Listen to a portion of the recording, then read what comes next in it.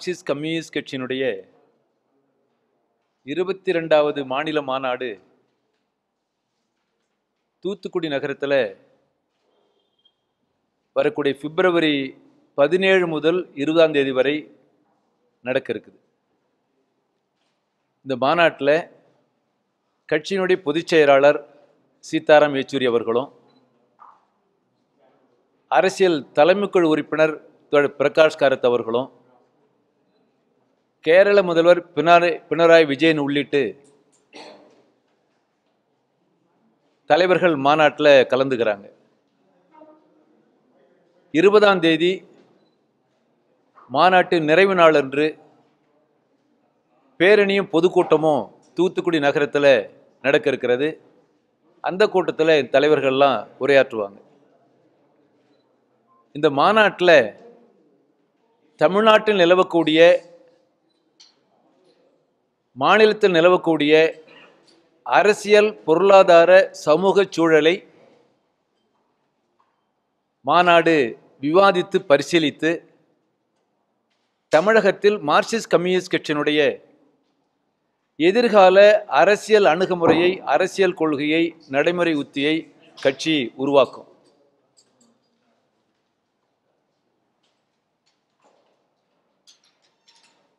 குறிப்பாக மத்தியில் ஆளக்கூடிய பாஜக மோடி தலைமையிலான அரசு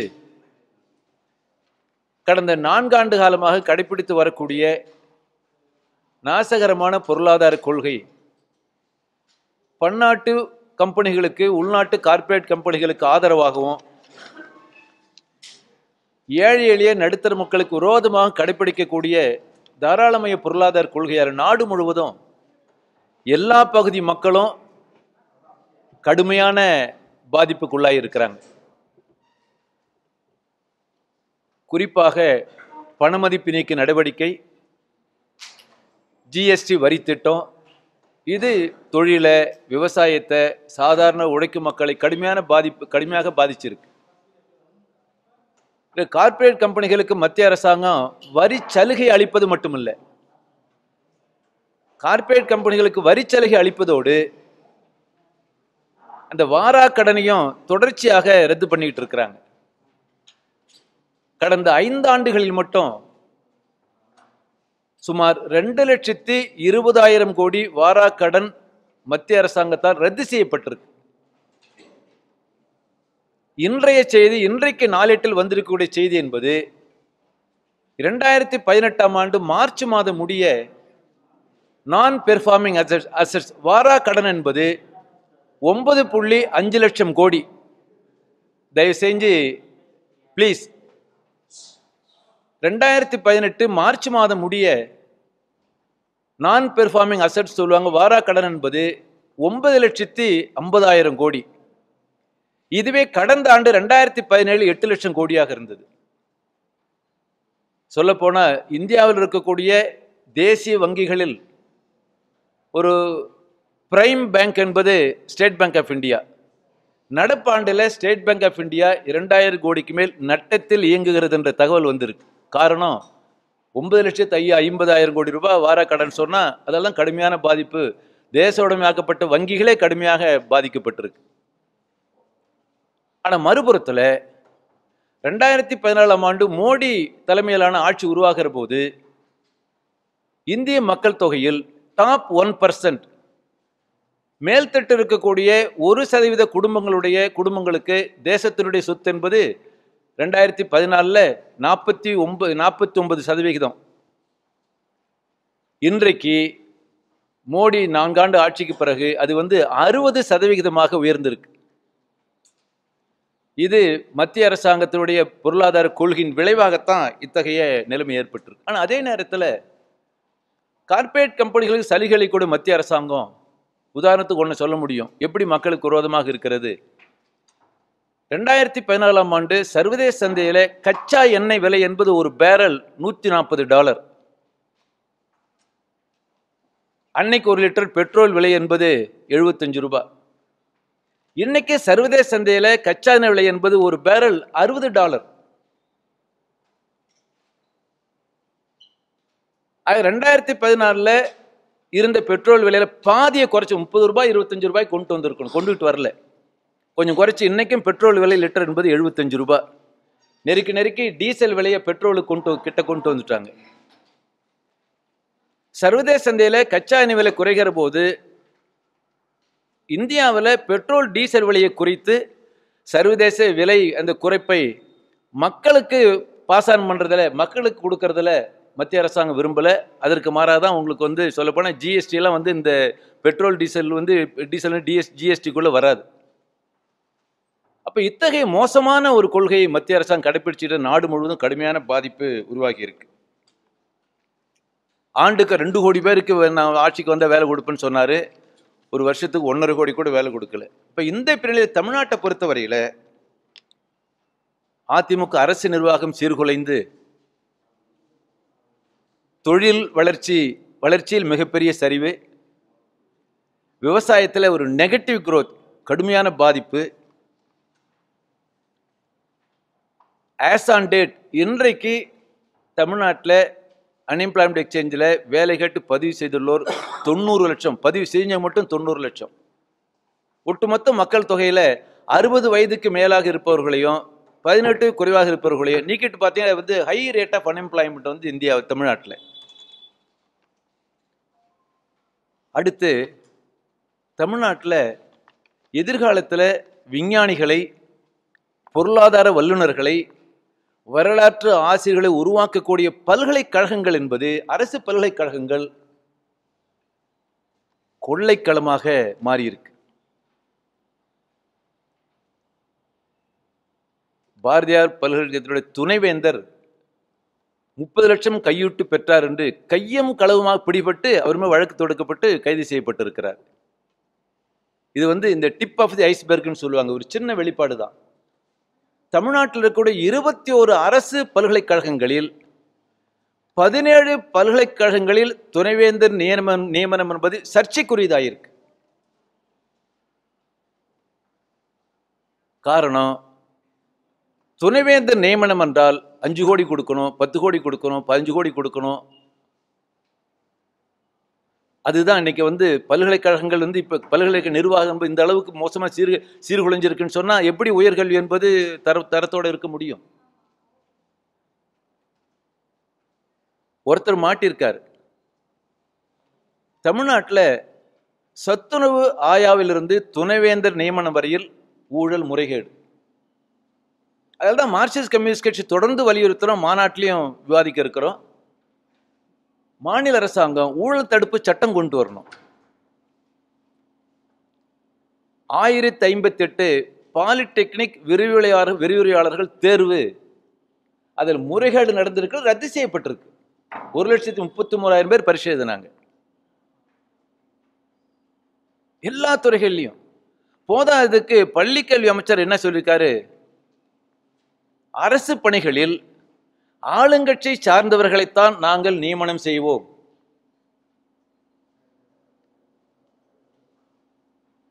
ரொம்ப கேலிக்குரிய மார்க்சிஸ்ட் கம்யூனிஸ்ட் கட்சியின் சார்பாக நான் உண்மையாக கண்டிக்கிறேன். ஒரு புறத்தில் வேலையில் வேலையின்மை கடுமையான பாதிப்புக்குள்ளாகி இருக்கிறப்ப இவர் வந்து ஆளுங்கட்சிக்காரர்களுக்கு தான் நியமனம்னு சொன்னால் எவ்வளோ மோசமாக இருக்கு. அதே போலவே சாதி ஆணவ கொலை என்பது கடந்த ஐந்து ஆண்டுகளில் நூற்றி தொண்ணூறை எட்டிவிட்டது. ரொம்ப கவலைக்குரிய விஷயம். சாதி ஆணவ தடுப்பதற்காக தனியாக சட்டம் கொண்டு வர வேண்டுமென்று வலியுறுத்துவோம். குறிப்பாக இன்னைக்கு தமிழ்நாட்டில் டெல்டா பிரதேசத்தில் பத்து லட்சம் ஏக்கரில் சம்பா பயிர் என்பது கருகிட்டு இருக்கு ஒரு பதினஞ்சு டிஎம்ஸ் தண்ணி கொடுத்தாதான் அதை காப்பாற்ற முடியும்ன்றது அனைத்து கட்சியும் சார்பாக கேட்டோம். இது அடிப்படையான காரணம். காவிரி நடுவர்மன்ற தீர்ப்பின் அடிப்படையில் காவிரி மேலாண்மை வாரியம் அமைக்கப்பட்டு அணைகள் பராமரிப்பு என்பது அந்த வாரியத்தினுடைய தலைமையில் நடைபெற்றிருந்தால் நடந்திருந்தால் இந்த பிரச்சனை ஏற்பட்டிருக்காது. ஆனால் காவிரி மேலாண்மை வாரியம் அமைப்பதற்கு உச்சநீதிமன்றம் நாலு மாநிலங்களில் பிரதிநிதி பேரை கூட கேட்டாங்க. ஆனால் திடீரென்று மத்திய அரசாங்கம் மோடி தலைமையிலான அரசாங்கம் உச்சநீதிமன்றத்தில் ஒரு மனு போட்டு காவிரி மேலாண்மை வாரியம் அமைப்பதற்கு உச்சநீதிமன்றத்திற்கு அதிகாரம் இல்லை என்று முட்டுக்கட்டை போட்டதால தான் இந்த மோசமான நிலைமை நீடிச்சுக்கிட்டு இருக்கு.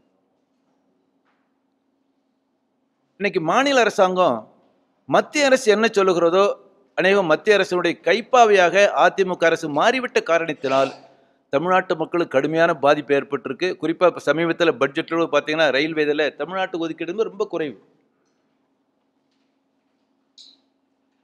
கீழடி அகழ்வாராய்ச்சி சீர்குலைவு இந்தி திணிப்பு பல்வேறு பிரச்சனைகளில் மாநில அரசாங்கம் மத்திய அரசாங்கம் தேர்த்து கேட்க தயாராக கடுமையான பாதிப்பு தமிழ்நாட்டுக்கு ஏற்பட்டிருக்கு. அப்போ இந்த பின்னணியில் எங்கள் கட்சியினுடைய மாநில மாநாடு தமிழ்நாட்டு மக்கள் சந்திக்கக்கூடிய பிரச்சனைகளை விவாதித்து எதிர்கால அரசியல் அணுகுமுறை உருவாக்குவதோடு போராட்ட திட்டங்களையும் மாநில மாநாடு உருவாக்கி இருக்கிறது மாநில மாநாடு முழக்கமாக செங்கொடி உயரட்டும் தமிழகம் நிமிரட்டும் என்ற அந்த முழக்கத்தோடு தான் மாநில மாநாடு கூட உள்ளது. நடக்கக்கூடிய அந்த மாநில மாநாட்டுக்கு உங்களுடைய நிறுவனங்கள் சார்பாக தொலைக்காட்சி பத்திரிகை நிறுவனங்கள் சார்பாக நீங்கள் அனைவரும் மாநாட்டுக்கு வர வேண்டும் என்று கட்சியுடைய மாநில குழு சார்பாக உங்களுக்கு அழைக்கிறேன். மாநாட்டுடைய அழைப்பு என்பது பிறகு உங்ககிட்ட கொடுப்பேன்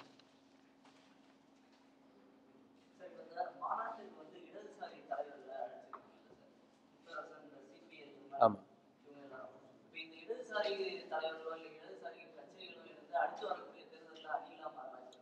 அதாவது மாநாடு என்பது தேர்தலை விவாதிப்பதற்காக கூடக்கூடிய ஒரு நிகழ்ச்சி அல்ல. தேர்தல் வருகிற போது சட்டமன்ற தேர்தலாக இருந்தாலும் நாடாளுமன்ற தேர்தலாக இருந்தாலும் தேர்தல் வருகிற போது கட்சியினுடைய மாநில குழு தேர்தல் உத்தியை உருவாக்கும். குறிப்பாக அகில இந்திய மாநாட்டிலையும் மாநில மாநாட்டிலையும் நாங்கள் இடதுசாரி கட்சி தலைவர்களை பொது நிகழ்ச்சிக்கு தோக்க நிகழ்ச்சிக்கு அழைப்போம் அந்த அடிப்படையில் அழைச்சிருக்கோம்.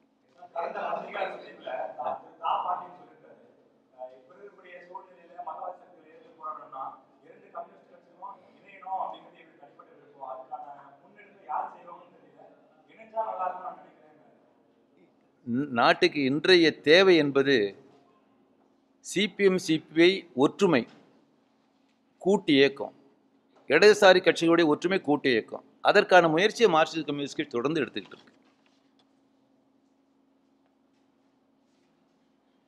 இப்ப மத்திய பட்ஜெட்ல அஹ், ப- 50 கோடி பேர் பயன்பெறக்கூடிய வகையில அந்த இன்சூரன்ஸ் திட்டம் கொண்டு வந்திருக்கிறதா சொல்றாங்க. அதை பிஜேபி ரொம்ப பெருமையாவும் பேசுவாங்க. அந்த திட்டத்தை மார்க்சிஸ்ட் அதாவது அந்த இன்சூரன்ஸ் திட்டம் என்பது எது உலகத்திலே மிகப்பெரிய திட்டமாக சொல்வது ஒரு அபத்தம் பொய். சொல்லப்போனால் நேஷ்னல் ஹெல்த் மிஷன் அளவு கூட உங்களுக்கு வந்து ஒரு திட்டம் அல்ல. ஒன்று இரண்டாவது அதில் தனியார் மருத்துவமனைகளுக்கு இந்த இன்சூரன்ஸ் திட்டமும் பலனளிக்கக்கூடிய அடிப்படையில் பல சரத்துக்கள் பல விஷயங்கள் இருக்குது ஒட்டுமொத்தமாக சுகாதாரத்திற்கும் கல்விக்கும் மத்திய அரசாங்கம் ஒதுக்கக்கூடிய தொகை என்பது கடந்த காலத்தோட குறைவானது என்பது தான் இந்த பட்ஜெட்டில் மத்திய அரசாங்கம் இது பண்ணி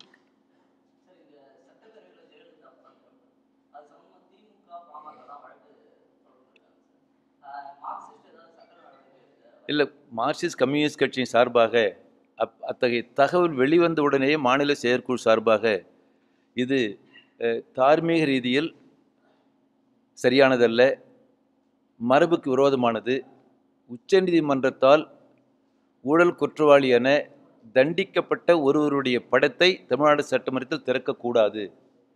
ஒருவேளை அவர் உயிரோடு இருந்திருந்தால் சசிகலாவோடு சிறையில் இருக்க வேண்டி நேரிட்டிருக்கும். ஆகவே அப்படி திறக்கக்கூடாது என்பது கட்சியின் சார்பாக நாங்கள் கருத்து தெரிவிச்சிருக்கிறோம். தொடர்ந்து அதை வலியுறுத்துவோம்.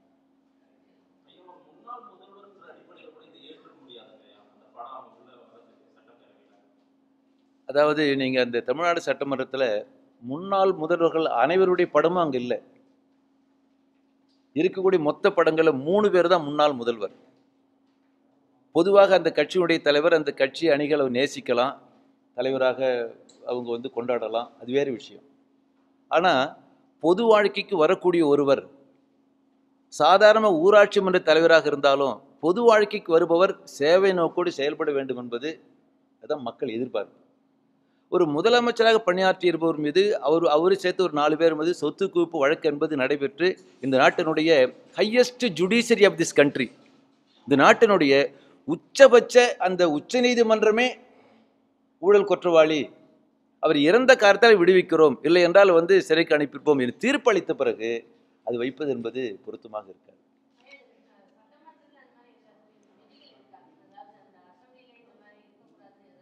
அதாவது விதிகள் இருக்கா இல்லையான்றது இல்லை அதில் பிரச்சனை. ஒரு சட்டமன்றத்தில் நாடாளுமன்றத்தில் ஒருவருடைய சிலை அல்லது படத்திருப்புன்னு சொன்னால் அவங்க தன்னுடைய வாழ்க்கையில் மக்களுக்காக செய்த பங்களிப்பு சேவை தன்னலமின்றி மக்கள் நலனுக்காக பாடுபட்டவர் என்பது தான் அதில் வந்து முக்கியமான அம்சம். ஆகவே இது இப்போ நீங்கள் வந்து பார்லிமெண்ட்டில் சிலை இருக்குது படம் இருக்குது இந்த சிலையும் படம் வைக்கிறதுக்கு சட்டம் கிடையாது. யார் படத்தை வைக்கணும் யார் படத்தை வைக்கக்கூடாதுன்றது. அது அந்த சம்பந்தப்பட்ட தலைவருடைய பங்களிப்பை பொறுத்து தான் அது வந்து முடிவு செய்யும். எது? சட்ட சட்டமன்றத்திலே படம் வைக்கக்கூடாதுன்னு நாங்கள் சொல்கிறப்ப நீ அதுக்கு மேலே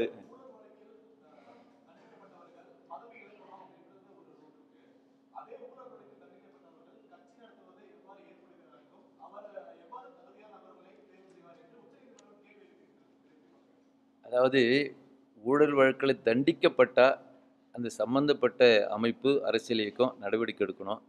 எடுக்க எடுக்காது அந்த கட்சியினுடைய அவங்களுடைய ப்ரிராகேட்டிவ் ஆனால் பொதுவாக பொது வாழ்க்கைக்கு வருபவர்கள் இப்படிப்பட்ட ஒரு ஒரு சேவை நோக்கோடு செயல்படணும் ஊழல் குற்றச்சாட்டுக்கு ஆளாகக்கூடாது. அப்படி தண்டிக்கப்பட்டால் அந்த அந்தப்பட்ட அமைப்பு தான் நடவடிக்கை எடுக்கணும் தேர்தல் ஆணையம் இதற்கான சட்டமோ எதுவுமே கொண்டு வரலாம் ஏன் இவ்வளோ நாட்கள் அமைதியா இருக்கு இல்லை ஏற்கனவே ஏற்கனவே பீப்புள்ஸ் ரெப்ரசன்டேட்டிவ் ஆக்டில் சில ப்ரொவிஷன்ஸ் இருக்குது அந்த அடிப்படையில் தான் இப்போ நீங்கள் வந்து அகில இந்திய அளவில் இப்படி நீதிமன்றத்தால் தண்டிக்கப்பட்டவர்கள் தேர்தலில் போட்டியிடக்கூடாது என்பது சம்மந்தமாக இரண்டு வருஷம் பல நிபந்தனைகள் இருக்குது அதுக்கு மேலே ஒரு ட்ரையல் நடக்கிறப்பவே அவங்க வந்து வரக்கூடாது என்பது பொருத்தமாக இருக்காது. அது ஏற் ஏற்புடையதாக இல்லை. நீதிமன்றம் இறுதியாக தண்டிக்கப்பட்டால் அது எத்தனை வருஷம்? அவங்க போட்டியிட போட்டி அதை தண்டிக்கப்பட்டால் போட்டியிட ஏற்கனவே பீப்புள்ஸ் ரெப்ரசன்டேட்டிவ் ஆக்டில் இருக்குது நீதிமன்றத்துக்கு தேர்தல் ஆணையம் என்பது பொதுவாக நீங்கள் தேர்தல் நடைபெறுகிற போது பணப்பட்டுவாடா? அதுக்காக தமிழ்நாட்டு தேர்தல் ரத்து செய்யப்பட்டது. ஆக அப்படிப்பட்ட விஷயங்கள் தடுப்பதற்கு முயற்சி பண்ணணும் தடு தடுக்கணும். ஒரு மார்க்சிஸ்ட் கம்யூனிஸ்ட் கட்சியை பொறுத்தவரை தேர்தல் இன்றைக்கு இருக்கக்கூடிய முறைக்கு மாறாக ஒரு விகிதாச்சார பிரிவித்தம் அவங்க அளிக்கக்கூடிய அந்த அடிப்படையில் தான் தேர்தல் நடத்த வேண்டும். தொடர்ந்து நாங்கள் வலியுறுத்திட்டு இருக்கோம். அந்த ரெப்ரசன்டேட்டிவ் இதில். தமிழ்நாட்டுக்கு?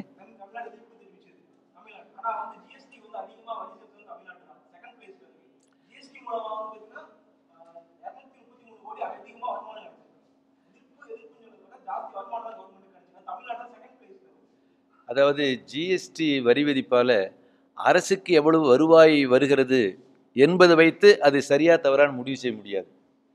ஜிஎஸ்டியால் அது வந்து இன்னைக்கு தமிழ்நாடு மற்றும் நாடு முழுவதும் தொழில் வளர்ச்சியை கடுமையாக பாதிச்சிருக்கு. ஒரு சொல்லி முடிக்கிறேன் கேளுங்க. எத்தனை கோடி வருமானம் என்பதல்ல உதாரணத்தை சொல்கிறேன் இப்போ நீங்கள் வந்து குஜராத் தேர்தலை முன்னிட்டு மோடி என்ன பண்ணாரு? பஞ்சாலைகளுக்கு ஜிஎஸ்டி வரியை பதினெட்டு சதவீதத்தை அஞ்சு சதவீதமாக குறைச்சார். ஆனால் அதே பஞ்சாலைகளில் துணி உற்பத்தி துணி உற்பத்தி ஆன உடனே ஜாப் ஒர்க் பட்டன் தைக்கிறது அயன் பண்ணுறது அவங்களுக்கு பதினெட்டு சதவிகிதம் ஆனால் பஞ்சாலை முதலாளிகளுக்கு பதினெட்டு அஞ்சாக்கிட்டாங்க ரெண்டு நாளைக்கு பதினோராம் தேதி திருப்பூரில் கேரள நிதியமைச்சர் தாமஸ் ஐசக் வந்து ஒரு கூட்டத்தை கலந்து வந்து இந்த ஏற்றுமதியாளர்களுடைய கலந்துரையாடல் கூட்டம் எல்லாம் அழுதுருக்கிறாங்க. ஆக ஒட்டுமொத்தமாக ஜிஎஸ்டி என்பது இந்தியாவில் சிறு குறு தொழிலை மட்டுமல்ல நடுத்தர தொழிலையும் கடுமையாக பாதித்திருக்கிறது. ஆகவே ஜிஎஸ்டியால் வரி வருமானம் அதிகரிச்சா இல்லையான்றதல்ல தொழில் வளர்ச்சி பாதி தொழில் வளர்ச்சி உதவி செஞ்சிருக்கா இல்லை கடுமையான பாதிப்பு ஏற்பட்டிருக்கு. இது நான் சொல்லலை நீங்கள் வந்து முன்னாள் ரிசர்வ் பேங்க் கவர்னர் ரகுராமராஜன் அடுத்து வந்து ரங்கராஜன் அமிர்தியாசன். நீங்கள் வந்து நியூயார்க் டைம்ஸே வந்து கட்டுரை என்பது டிமானடைசேஷன் அதில் விழுந்தவங்க எழுந்து நிற்கிறதுக்குள்ள ஜிஎஸ்டி இது ஒட்டுமொத்தமாக இந்தியாவில் வந்து தொழில் வளர்ச்சியை பொருளாதாரத்தை கடுமையாக பாதிச்சிருக்குன்னு சொல்லியிருக்கிறாங்க.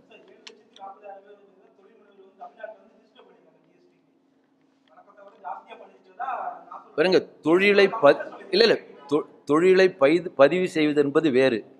பதிவு செய்துவிட்டு நடக்கக்கூடிய தொழிலை முடக்கி வை முடக்கி மூடி வச்சிருப்பது வேறு. இன்னைக்கு தமிழ்நாட்டில் கணிசமான சிறு குறு தொழில்கள் என்பது கடுமையான பாதிப்பிற்கு உற்பத்தி பாதிச்சிருக்கு. உங்களுக்கு தகவல் சொல்கிறேன் நாடு முழுவதும் இருபத்தி ஆயிரம் மெகாவாட் மின் உற்பத்தி செய்யக்கூடிய உற்பத்தி நிலையங்கள் மின்சாரத்தை வாங்குவாரின்றி முடங்கி கிடக்குது. Twenty five thousand megawatt of power capacity ஐயா, இந்த பஸ் கட்டண உயர்வுக்கு நேத்துக்கு நீங்க கூட பெரிய போராட்டம் ஒண்ணு பண்ணீங்க பஸ் கட்டண உயர்வை வந்து மக்கள் ஏத்துக்கிட்டாங்க தேவையில்லாம இதை வந்து இன்னும் வந்து போராட்டம் நடத்தி பிரச்சனை பண்ணிட்டு இருக்குது எதிர்கட்சிகள்னு அமைச்சர் ஜெயக்குமார் கூட நிறைய அமைச்சர்கள் இதை வந்து குற்றச்சாட்டா வைக்கிறாங்க அதாவது அந்த பஸ் கட்டணத்தை உயர்த்திய அரசு அமைச்சர்கள் சொல்லக்கூடிய கூற்று இது. ஏற்கனவே இருந்த கட்டணத்தில் ஐம்பது சதவீதத்தை நூறு சதவீதம் உயர்த்தினாங்க. குறிப்பாக சாதாரண கட்டணம் நாற்பத்தி ரெண்டு பைசா இருந்தது அறுபது பைசா ஆக்கினாங்க. எதிர்ப்பு வந்தால் ரெண்டு பைசா குறை அஞ்சு பைசா குறைச்சாங்க. ஒரு நாளைக்கு ரெண்டு கோடி பேர் பஸ்ஸில் பயணம் பண்ணுறாங்க தமிழ்நாட்டு மக்கள் பேருந்து கட்டணங்கள் கடுமையான பாதிப்புக்கு உருவாகி இருக்கிறாங்க. பொதுவாக பப்ளிக் டிரான்ஸ்போர்ட் பப்ளிக் டிரான்ஸ்போர்ட்னா ஒன்று பேரு அரசு பேருந்து இன்னொன்று ரயில்வே பப்ளிக் டிரான்ஸ்போர்ட் எப்பொழுதுமே மத்திய அரசு மாநில அரசோ அதுக்கு வந்து மானியம் கொடுக்காம பப்ளிக் டிரான்ஸ்போர்ட்டை நடத்த முடியாது. இங்கிலாந்தில் இங்கிலாந்தில் கூட ரயில்வே ப்ரைவேட்டைஸ் பண்ணாங்க. மறுபடியும் இப்போ வந்து அதை நேஷனலைஸ் பண்ணணும்னு மிகப்பெரிய இயக்கம் நடந்துகிட்டு இருக்கு. ஆக பொது போக்குவரத்து இல்லாமல் நீங்கள் வந்து சாதாரண ஏழை நடுத்தர மக்கள் வந்து வேலைக்கு போக முடியாது பொருளாதார ஆக்டிவிட்டிஸ் இருக்காது. ஆகவே பஸ் கட்டணம் ஒரு கடுமையான பாதிப்பு உருவாக்கியிருக்கு. அரசு சொல்வது அமைச்சர் சொல்வது ஏற்றுக்கொள்ள முடியாது சார் இப்போ இவ்வளோ தூரம் ஏற்றிருக்காங்க இப்போ இவங்க இவங்க நஷ்டத்தெல்லாம் இதில் சரி கட்டிடுவாங்க கடனாக இருக்கிற பில்டிங் அது இது நிறைய சொல்கிறாங்க அதெல்லாம் இப்போ இந்த இதில் சரி பண்ணிடுவாங்க அது சரி பண்ணுவாங்களன்றதில்ல அதாவது ஒரு ஆண்டு ஒரு ஆண்டினுடைய தமிழ்நாடு பட்ஜெட் எவ்வளவு? ஒரு லட்சத்து ஐம்பதாயிரம் கோடி. போக்குவரத்துக்கு வருவாய் குறைவு அவங்க பற்றாக்குறை சொல்வது மூவாயிரம் கோடி.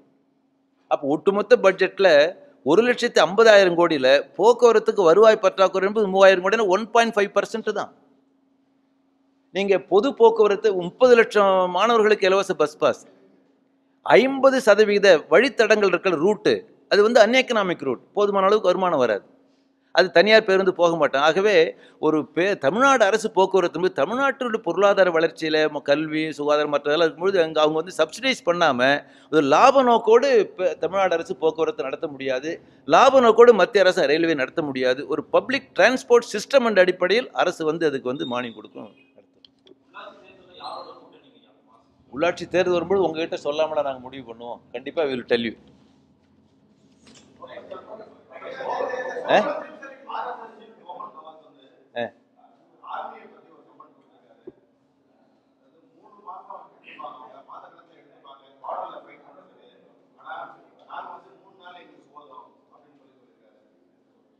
இன்னைக்கு ஒரு நாளேடு அது வந்து ஒரு தேச விரோத ஒரு கருத்துன்னு ஒரு கேரிகேச்சர் வந்திருக்கு.